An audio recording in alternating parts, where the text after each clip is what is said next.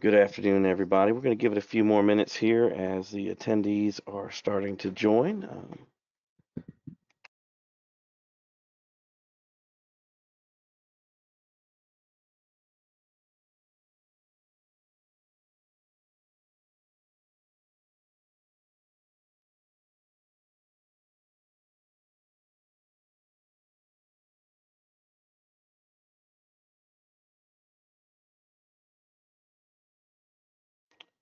got a few more individuals still joining. I'm going to give it a few more seconds and then we will start it off.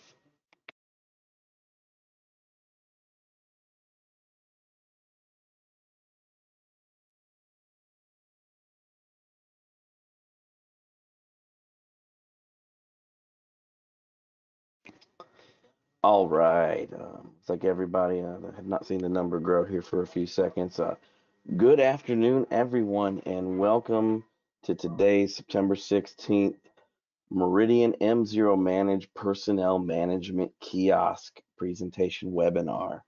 Uh, my name is Josh. I'm a software support engineer here, uh, M0 Manage platform, specifically with the uh, personnel management kiosk.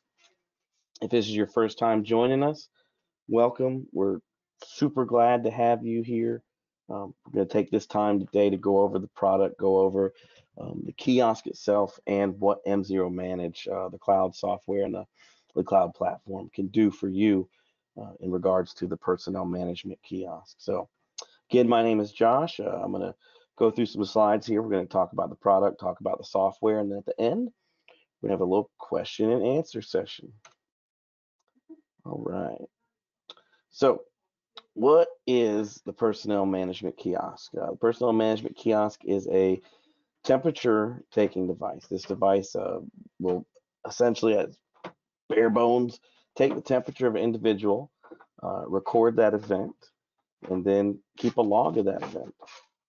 Uh, you are able to use a facial recognition database to build a database of employees uh, if you're using this in an educational facility, uh, your students, teachers, staff, groundskeepers, maintenance crew, whomever you wish to enroll um, in this uh, in the in the program or in the uh, database is able to have their face and their information uh, stored and then called up upon facial recognition.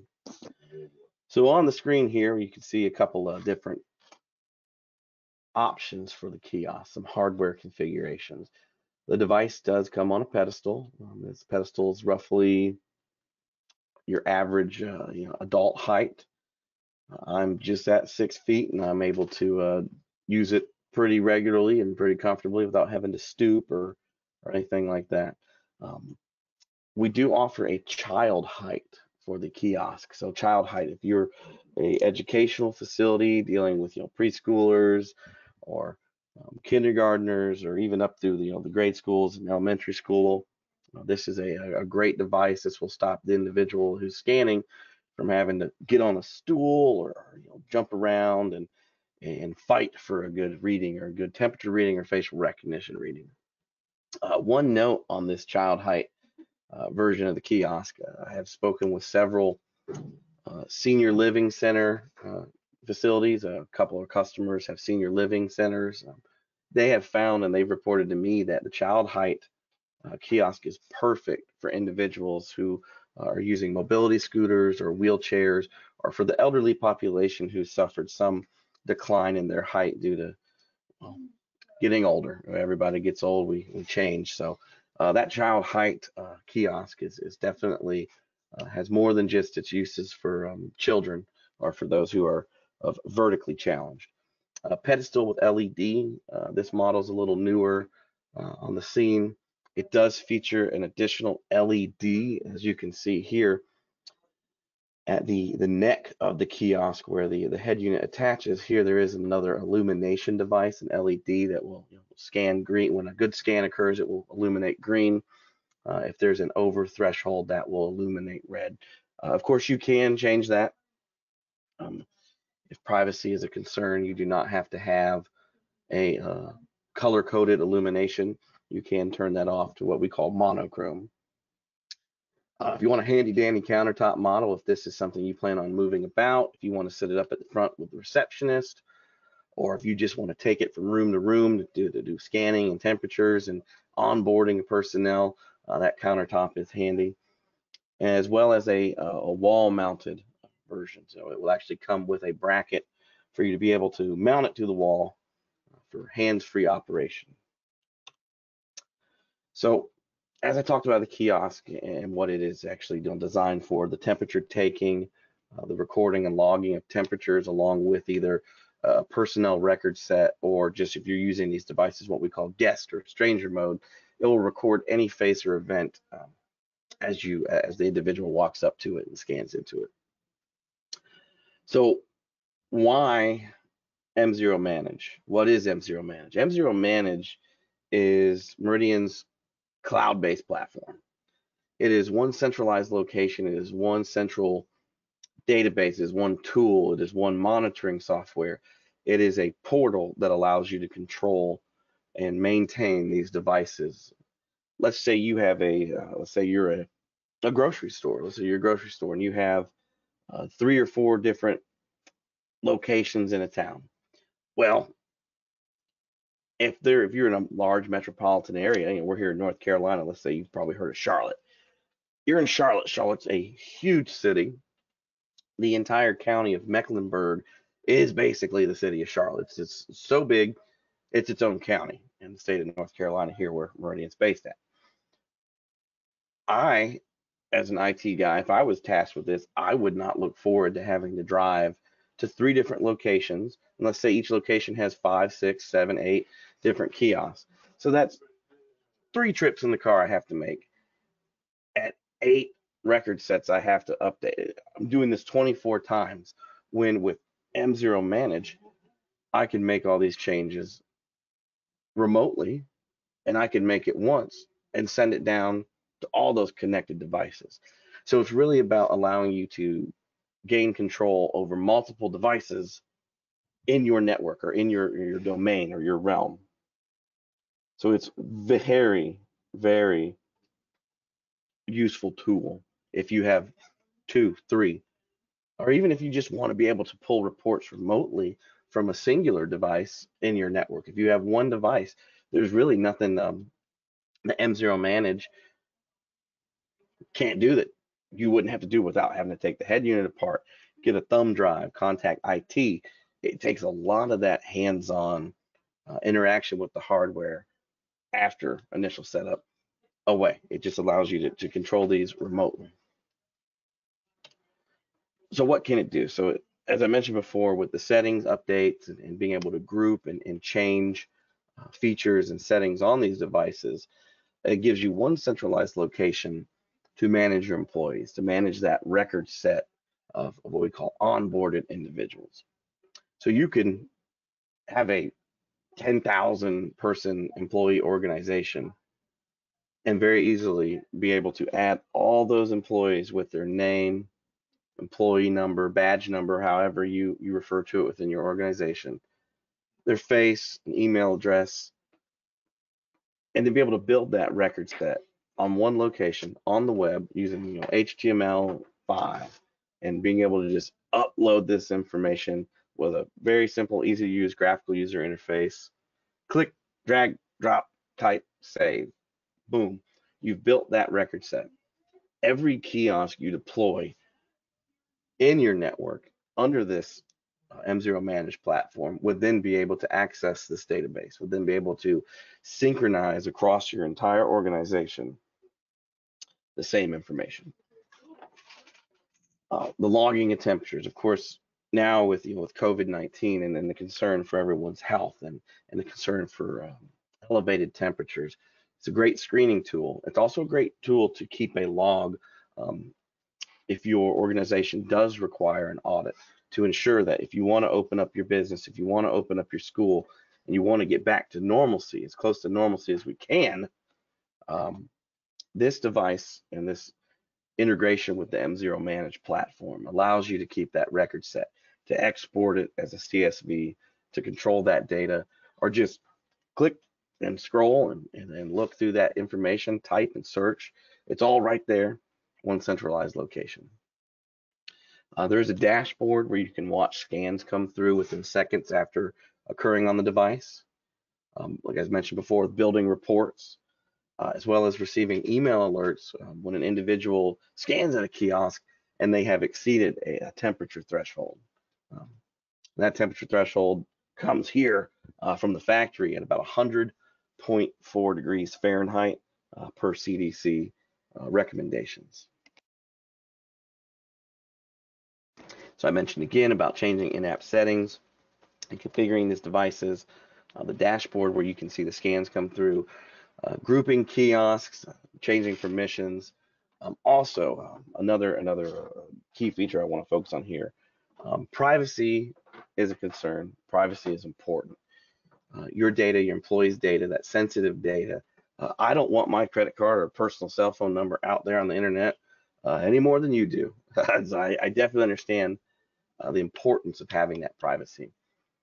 If you're concerned about the physical device, um, let's say you have it in a, uh, a, front lobby somewhere, if you're afraid, God forbid, someone come in and, and snatch it out of your lobby and run out the door, um, they better be pretty big to, to pull that stand out and run off with it. But there is that ability uh, for you to turn off the local device storage. Uh, and what I mean by that is there's a gigabyte of internal storage on the head unit. As you scan, as those records are accumulated, um, that gigabyte fills up. Once it has reached a gig, uh, a gigabyte of storage, it starts to revolve. So what does that mean? That means your oldest scans are removed and replaced with your newest scan. So it's just a revolving door uh, of scans. What you can do is you can toggle the device to erase or not keep those local scans and just send that information to the cloud. So if privacy over the physical device and having that information on a tablet where where our cloud is secured um, both through your password and through intrusion uh, attempts where, where our data centers and our cloud information is secure. If you're worried about the physical device, uh, there is a way to make it run essentially in a phone home mode where it would just, oh, James Smith scanned in, oh, Josh scanned in, doesn't save on the device, hits the cloud, it's safe, it's secure. Of course, don't share your password, and it's it's fine. Um, we talked a little bit about the images, the facial, the facial database on the device. the biggest tip I could give you if you're already a customer, um, if you're getting ready to buy, if you've just purchased, you haven't used it, and you just you wanted to attend this webinar um, to kind of get a little bit of a, a spiel about it. The biggest piece of advice I could give you is to look at this guy right here. This is the ideal format for the picture. Um, if you ever had a passport made, if you've ever looked at your driver's license photo, I, I felt some of you cringe right there when I mentioned that. Um, but no, driver's license photo, uh, albeit they uh, they get a bad rap for looking bad. Uh, that format is pretty much um, the, the format you're looking for um, when it comes to a good profile picture. I'll call it profile picture for the employees. The better the photo that you can feed the facial database algorithm, the more accurate and the quicker your facial recognition scans are going to be. And I'll say it again for the people in the back. The better profile photo that we can feed the facial data um, algorithm, the better experience you're going to have. So if we look at the example here, I can see this guy's neck. I got a chin happening. I can see the ears. I can see between the ears. I can see the top of the head. Any of my photography nuts out there are going to know when I say rule of thirds. If you look at the photo, you see it's in this grid photo. It's in this grid pattern on the photo. These little white lines here. One, two, three by one, two, three. Thirds going this way, thirds going this way. The nose is centered in the center. The eyes fall between these two quadrants, or well, whatever nine is. It's been a couple years since I was in math class. Uh, so in this part of the grid on this side here, we see the nine, uh, the, the, nine segments. The eyes are just falling outside of block four and six. this is one, two, three, four, five, six, seven, eight, nine. So these two blocks with the eyes, the face doesn't have to be as symmetrical as this. We're not we're not looking for uh, you know perfect symmetry, but following this rule of thirds to where the lower half I got the chin and the neck, the eyes, the nose, the cheeks, this guy's dimples here, and the ears fall in the middle of the third, and then the top third would would capture the forehead and the head. Big thing. Guys with longer hair and the ladies with bangs. It will be better if the side swept bangs or the you know, the the, um, the bangs coming straight down the face that you know kind of come down like this, either sweeping those off to the side so they're not obscuring the forehead, or to pull them back with the use of a um, a headband or or something like a bandana or something like that, just to kind of get the or hair clips just to get it out of the face. Uh, we want to see the forehead. We want to see those points, the eyebrows for facial recognition. Same thing goes when it comes time to scan in with the kiosk. The less obstructions of the face, the better. All right.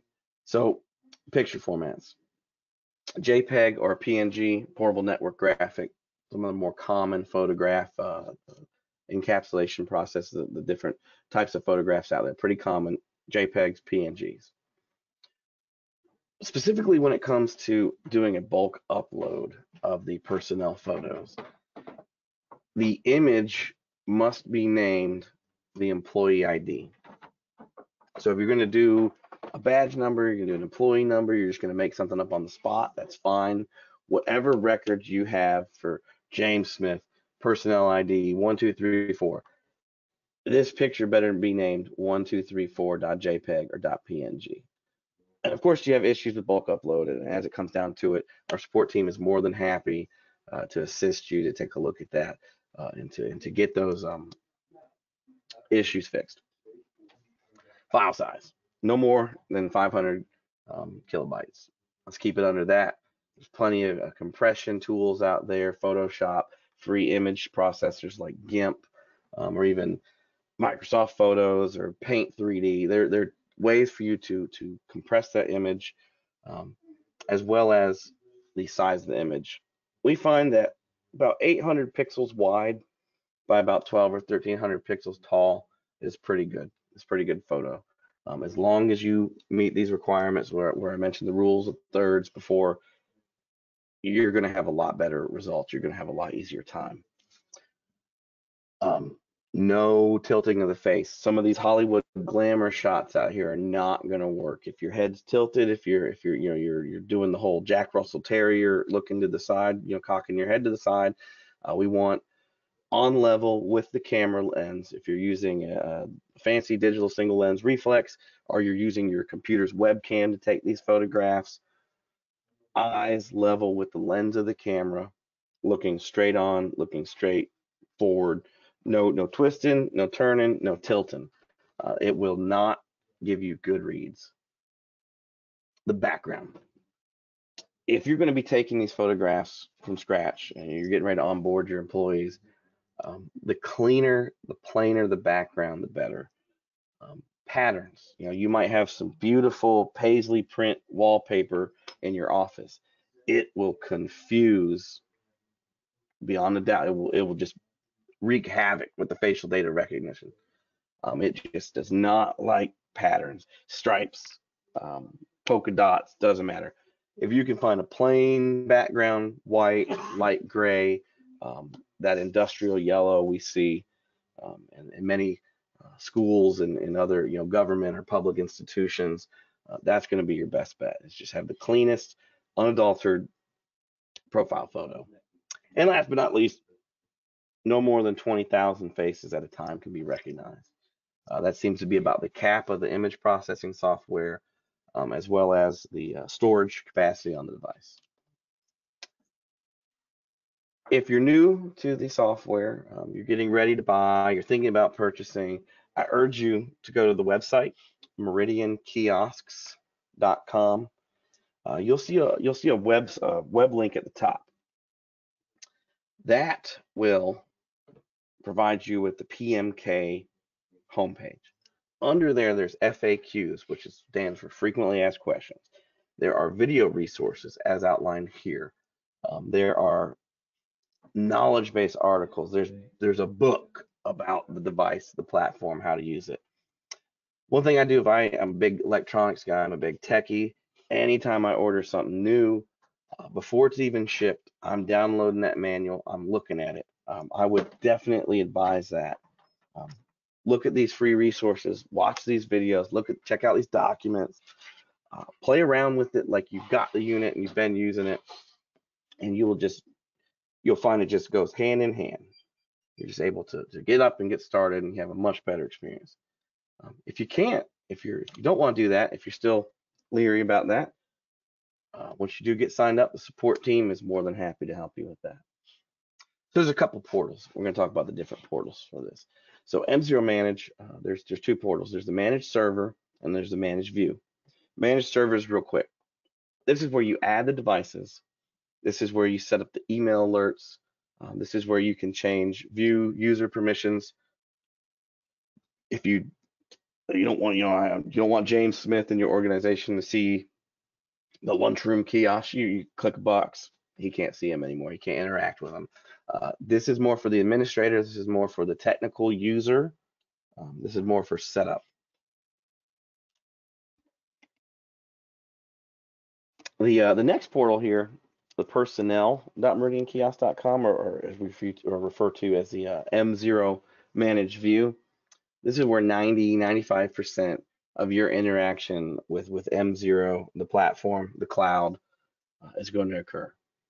This is where the dashboard lives. That dashboard I mentioned uh, a couple slides back, uh, where you can watch the scans come through in real time. That's M0 Managed View. Being able to search and pull entry reports, export entry reports uh, to a CSV file. If you've got some some Excel ninjas that just love to use Excel and love database and management, you can get this information in CSV and you can give it to these individuals in your organization. And the possibilities are endless what they can do with that data. They can manage the reports. You can really export this raw data, search it, control it, and, and make it yours, own it. Uh, you'll edit settings here customization of the, the name of the kiosk where it displays the, the company name. For our current users, they've probably seen in the in the settings, please set a company name. This is where you set that company name. This is where you can brand it. Uh, you can put your logo on the splash screen. So as your users, employees, or guests come up, you, you get that personalization touch. You can you can really make it yours. Um, this is where you also will do the bulk uploads, or if you've got 10 people in your organization and you don't want to sit there and have to do them in a big bulk upload, you get the ability to onboard these personnel or these employees through the personnel employee section. Uh, this allows you to build that record set for your facial scans. Um, I know I talked a lot about facial scans. Don't worry, if you don't want to use the facial scan, um, the facial recognition algorithm you can run the, the device, as I mentioned before, in a guest or a stranger mode. This would essentially capture all of the um, interactions with it. Someone walks up to the, the kiosk to get their temperature taken, scans them, says normal temperature, and then it will snap, capture that result.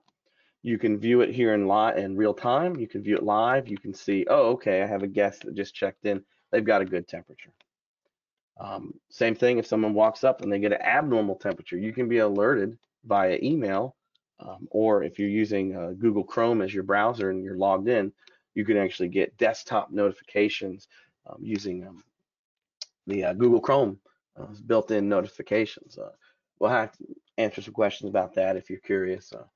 Uh, Google Chrome notifications. They should be on by default. You might get a, a prompt asking you if you'll allow uh, those notifications when you log in. If you have any questions about that, um, once you get set up on the device, uh, once you get set up on the platform and you're using the device, uh, you can feel free to reach out to us at support, or if you uh, look up how to turn on the Google Chrome notifications for websites, uh, that's one of the second or third hits on Google if you're if you're looking up how to do that on your own. So you've bought the uh, you've bought the device, you've got the software, you're just you just need a little extra help. You just need a little extra help setting it up. Uh, that's where we do offer an onboarding support package. So onboarding package is an hour with a member of our support team, one of our dedicated specialists. Uh, they will work with you to get the device added.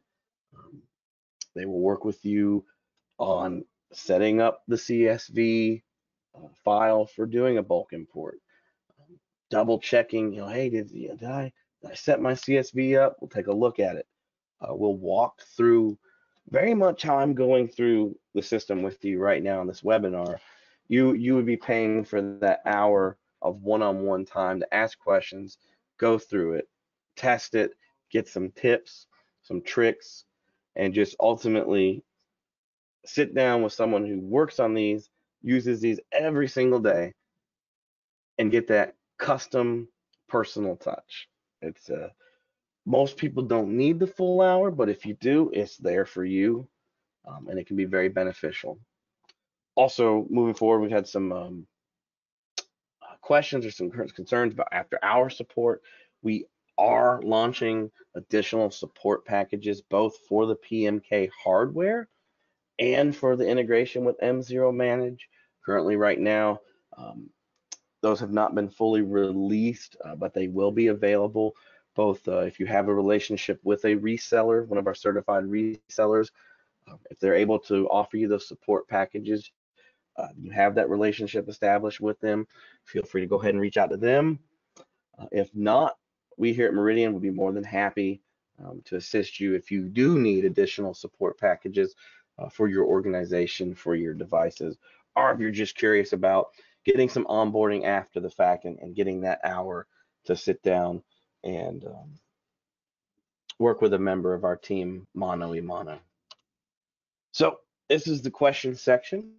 As you can tell, I'm slowly losing my voice thanks to the change in the weather here in central North Carolina. So I'm going to mute myself for a couple seconds, uh, let some of these questions come in, take a sip of water, and then I'm going to start going through these questions with you guys. So go ahead and start to submit.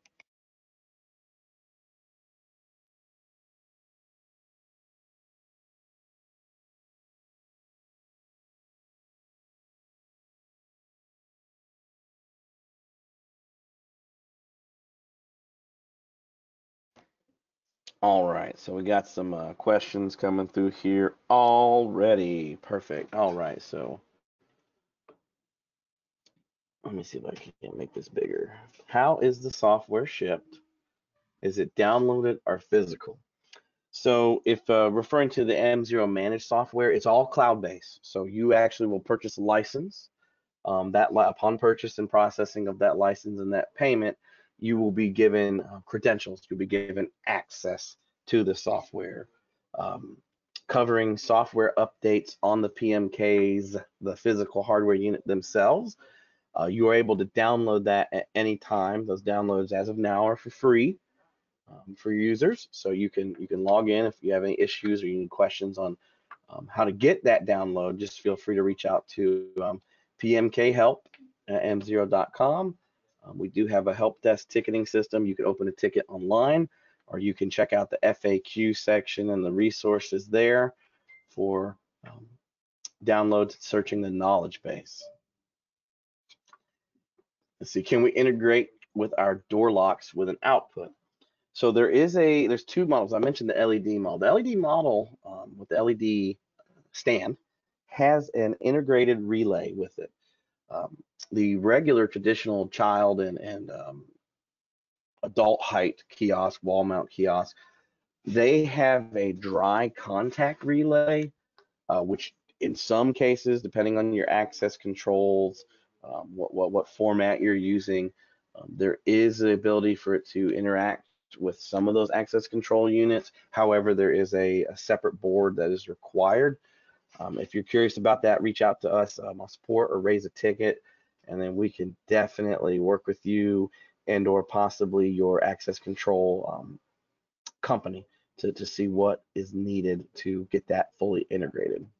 Um, oh, and, and on that same note, Robert, um, the Wiegand uh, sending data bits, uh, there is a Wiegand terminal for transmission and receiving um, of, of, data bits for uh, badge card readers. Um, that's a that's a pretty big rabbit hole um, to go down.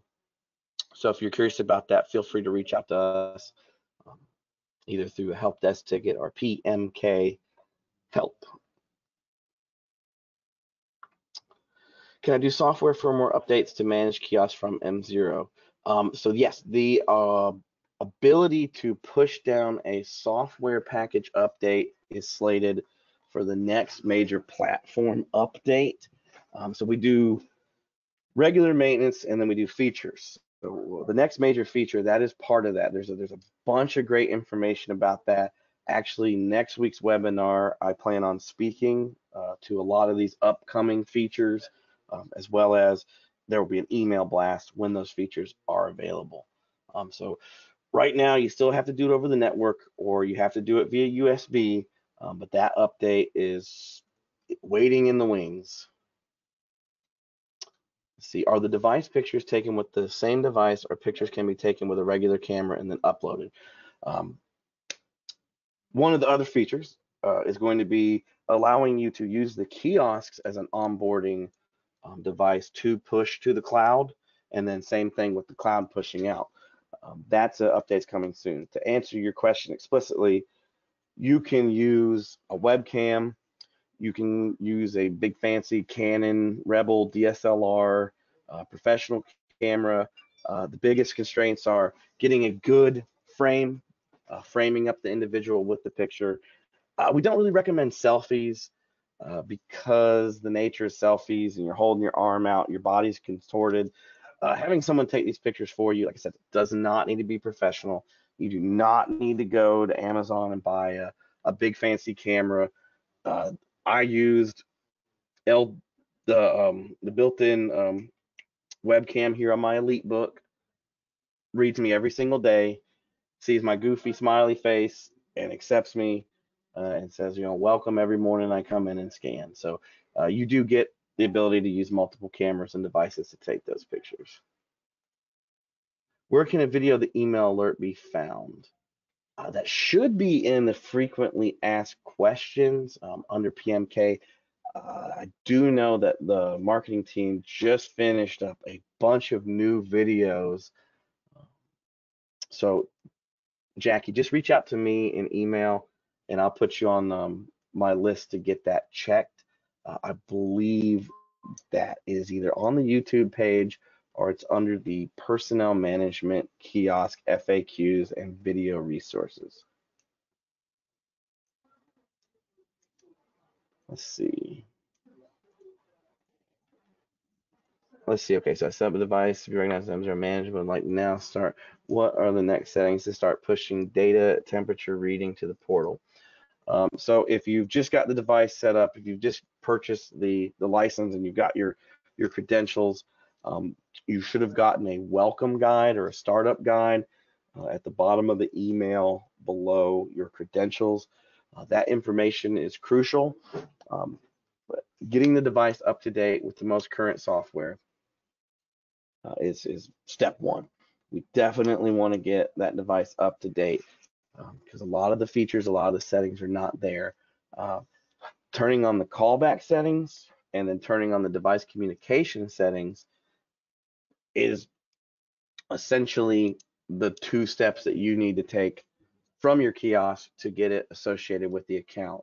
Um, if you have any issues with that and you need some help, please open up a help desk ticket and then we can work with you one-on-one -on -one to rectify that issue if you are encountering any problems.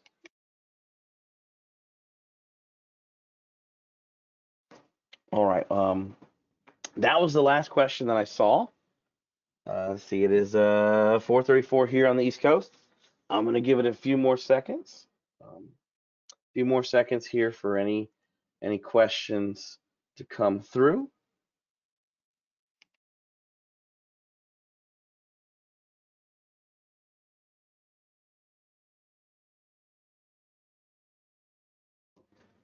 All right, so uh, no more questions have come through. I see some people are uh, disconnecting. I'll give it another couple seconds.